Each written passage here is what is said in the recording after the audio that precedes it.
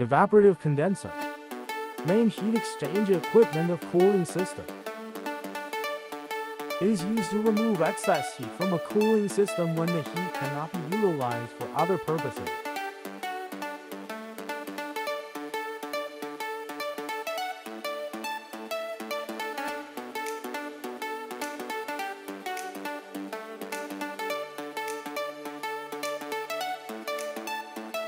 The vapor to be condensed is circulated through a condensing coil, which is continually wetted on the outside by a recirculating water system. Air is poured over the coil, causing a small portion of the recirculating water to evaporate. The evaporation removes heat from the vapor in the coil, causing it to condense.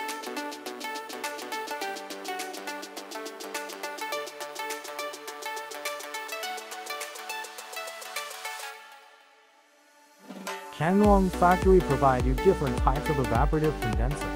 If you need field service or have a warranty question, contact us.